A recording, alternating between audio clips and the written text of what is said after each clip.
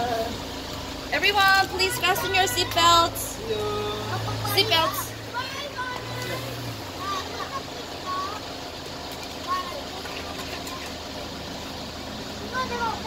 이들이야.